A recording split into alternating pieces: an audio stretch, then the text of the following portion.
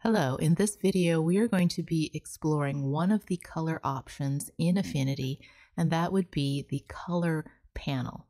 So to find the color panel, we'll go to Window and then select Color and that will pop it up. So you can make this particular one wider if you want.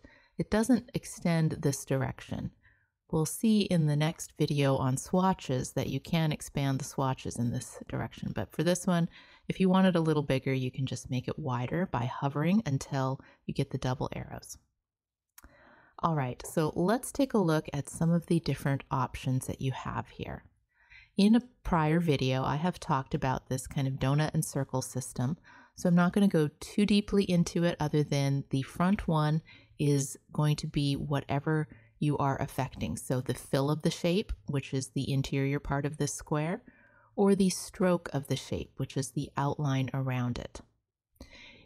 Whatever's in front is the thing that you're going to be affecting. So if I wanted to change the color of this outline, let's say I just wanted to make it a dark purple, then we could kind of go over here until we find the purple that we want, and now we have changed that stroke outline. Let's say I didn't want a stroke. Well, one of the ways you can get rid of that is to go to this set to none. So if I click that, you'll see that that turned this to white with a red line through it, which means like no. Um, and so it's no stroke on there. And now we just have the fill of it. I'm going to put the stroke back on for the purposes of this demo. So right next to it, we have a color picker tool. I also have another video where we talk about this color picker tool, which is going to be a little bit uh, more user-friendly and more comprehensive. The color picker in these panels works a little bit more like picking a color to a clipboard, so almost like a copy paste. So if we click and hold our mouse, we get this kind of magnifying glass and we can find the color we want. Let's say I want this black and you'll see nothing happened even though this is selected, but it did load that black up onto the color picker clipboard. And so now I can click that color and click the fill and it will turn that black. Okay, so that is the color picker tool. So think of that as selecting a color and loading it to a clipboard. These numbers don't really do anything on their own, but they show you the HSL numbers or values in case you wanted to note that um, in terms of taking this to another project, you wanted to know the exact colors. So let's uh, make this a different color again. So let's make that fill nice and red.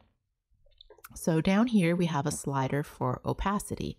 And so that's going to make my shape more transparent. And you can see I placed a different shape under it for demonstration purposes so we could see that it's becoming more transparent or more opaque as we move this slider.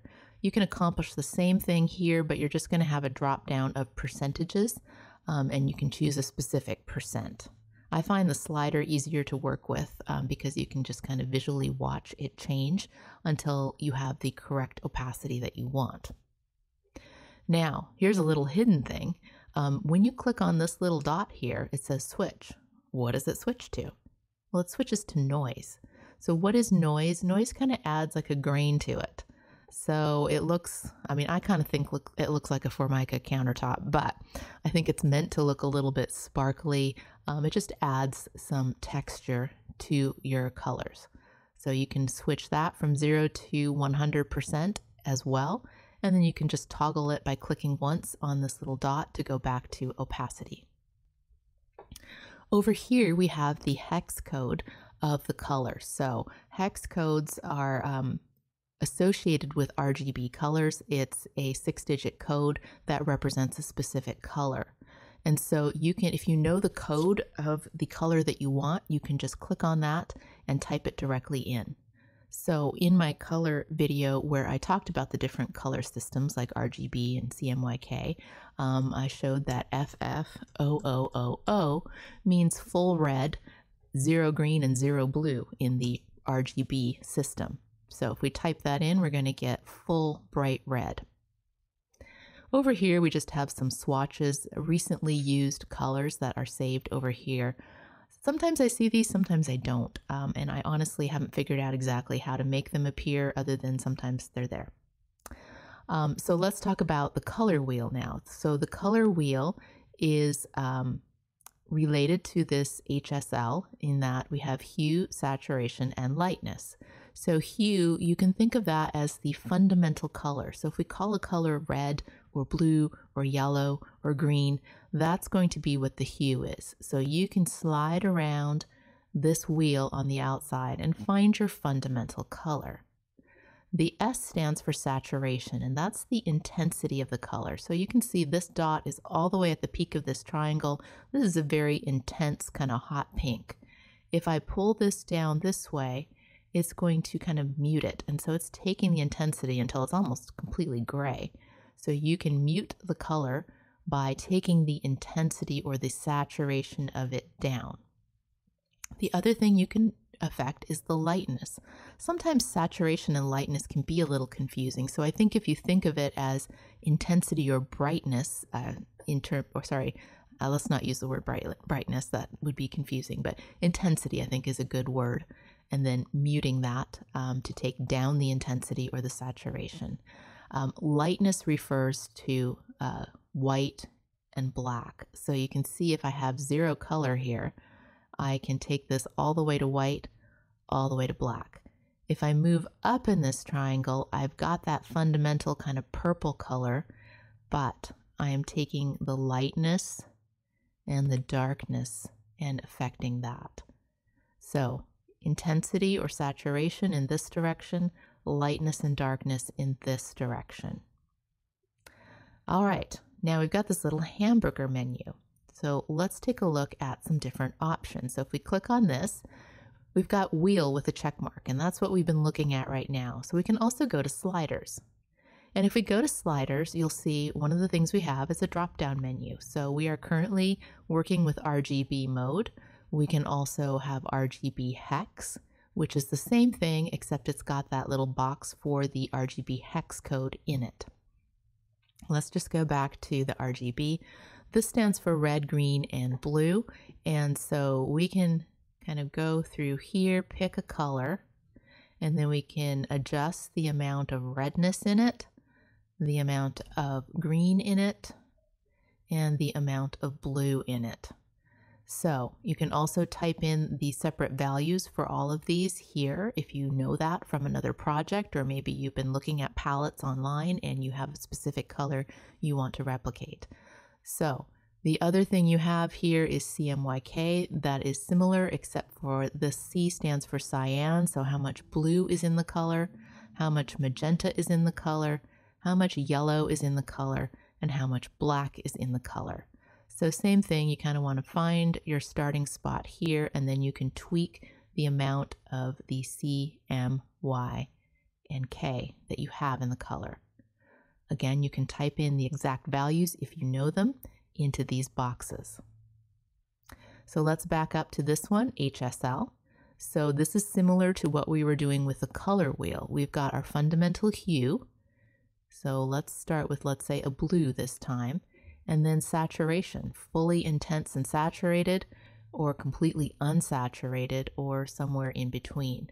And then the L will be our slider for the lightness of that color. Lab colors is a specific uh, color thing that I don't use and I don't know a lot about.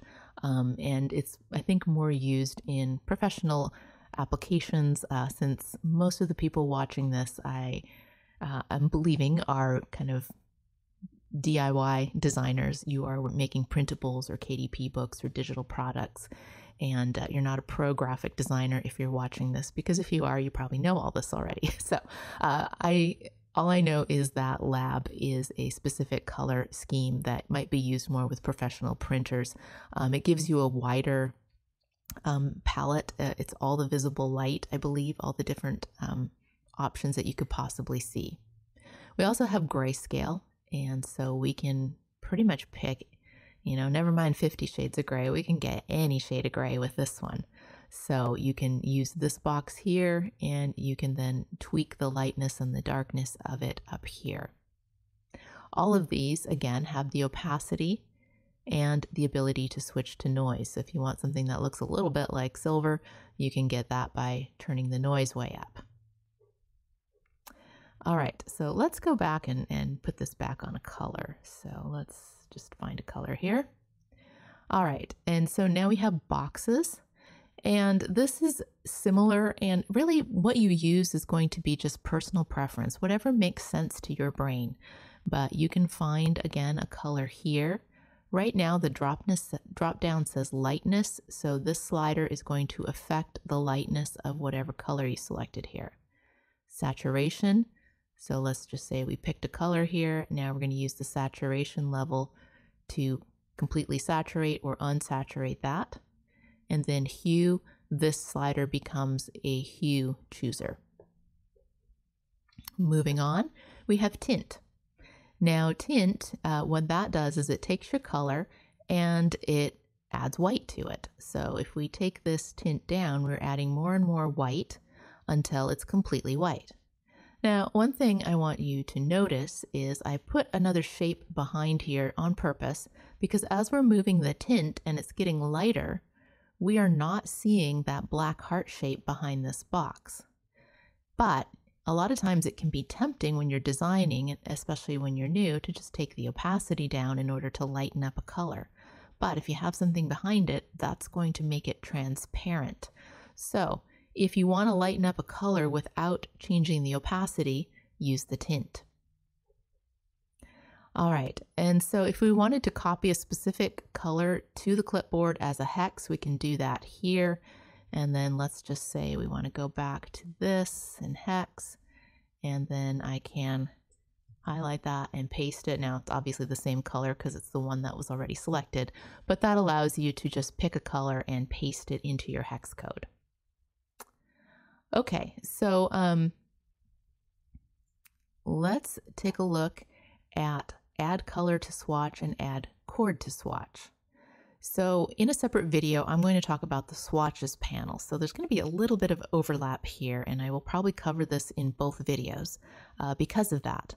But let's say I like this color and I want to save it. I can add that to a swatch. Now it doesn't look like anything happened, but let's go to Window and swatches. And you'll see over here, here is my color that I just saved. So I'm in the colors and you can also see it in my recently used colors, but this is the one that I actually saved um, as a swatch. So we saw another one, add chord to swatch, and there was a lot of different options here. When I talk about the swatches panel, I'm going to go through these because I also have a separate video that talks about color code, uh, sorry, color chords. So we'll look at this a little bit more in the swatches video. But I do want to talk about tints, shades, and tones here. So we looked at that tint slider. We also have shades and tones. So um, shades is going to add black. Now I clicked that and it again doesn't look like anything happened, but let's go over to the swatches. And so this is where we left off last time we looked at swatches. But what it has done, it has added kind of a palette of colors based on that color, and each one has a little bit more black added to it. So let's just select this so we can see the different colors here. So it's adding more and more black to that starting color and created a whole swatch for me. So likewise, let's go back here. Let's just, for sake of example, pick a different color. And we'll go back to that hamburger menu, add chord to swatch, and go down to tones. Now tones is going to add grays to this purple color that we have right now. And actually, just for sake of demo, let's just choose a lighter color so we can see it a little better. Okay, so let's click tones. Again, doesn't look like anything happened, but if we go to swatches, here is all of the colors that it added to my swatches based on that fundamental color in increments of increasing amounts of gray added to it. So tints adds white, which will lighten your color.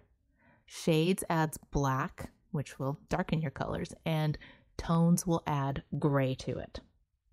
So this is where I'm going to um, stop in this video because pretty much everything else applies to the swatches.